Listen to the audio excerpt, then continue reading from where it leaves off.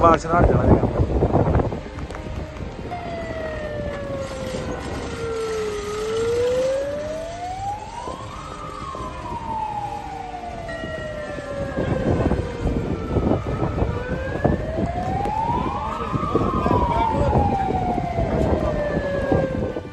ਗਰਮੀ ਤੋਂ ਬਾਅਦ ਤੇਜ਼ ਹਨੇਰੀ ਤੇ ਝੱਖੜ ਨੇ ਤਬਾਹੀ ਮਚਾਈ ਹੈ। ਕਈ ਥਾਵਾਂ ਤੋਂ ਤਸਵੀਰਾਂ ਸਾਹਮਣੇ ਆਈਆਂ। ਇਹ ਜੋ ਤਸਵੀਰਾਂ ਤੁਸੀਂ ਸਕਰੀਨ ਤੇ ਦੇਖ ਰਹੇ ਹੋ, ਇਹ ਵੀ ਤਬਾਹੀ ਦਾ ਹੀ ਇੱਕ ਮੰਜ਼ਰ ਹੈ।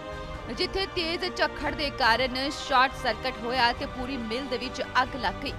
ਅੱਗ ਇਸ ਕਦਰ ਫੈਲੀ ਕਿ ਛੱਤ ਤੋਂ ਚੰਗਿਆੜੇ ਬਰਸਣ ਲੱਗ ਗਏ, ਜਿਨ੍ਹਾਂ ਤੇ ਕਾਬੂ ਪਾਉਣਾ ਵੀ ਮੁਸ਼ਕਲ ਹੋ ਗਿਆ।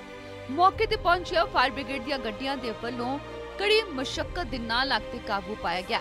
ਪਰ ਉਸ ਤੋਂ ਪਹਿਲਾਂ ਇਹ ਤਸਵੀਰਾਂ ਦੇਖੋ, ਜਿਸ ਦੌਰਾਨ ਅੱਗ ਲੱਗੀ। ਬਾਇਲਰਾਂ ਦੇ ਵਿੱਚ ਧਮਾਕੇ ਹੋਏ ਅੱਗ ਲੱਗੀ ਅਤੇ ਉਸ ਤੋਂ ਬਾਅਦ ਸਾਰੀ ਹੀ ਮਿਲ ਧੂੰ ਧੂੰ ਕਰਕੇ ਸੜਨ ਲੱਗੀ।